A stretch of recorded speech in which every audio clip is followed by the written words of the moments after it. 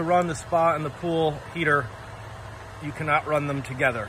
So when you want to run the spa, you will come over here. You'll see on here, it's lit up pool. So you're gonna turn it to spa. So it goes there. You can see it's set for 100 degrees. And then come down to this valve here where it says spa and pool.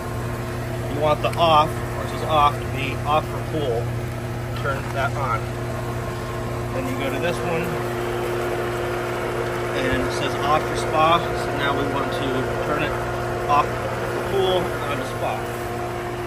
Once you do that,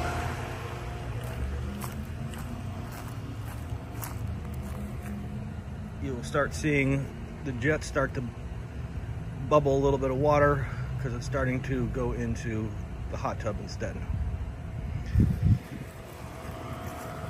The jets for the hot tub are not operable right now.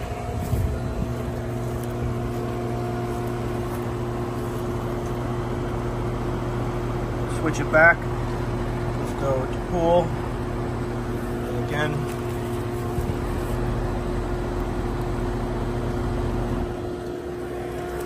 and then the pool back on. Just goes to where the line is. And this one goes all the way around. And then you can see the, kind of see the jets in the pool start to flow again.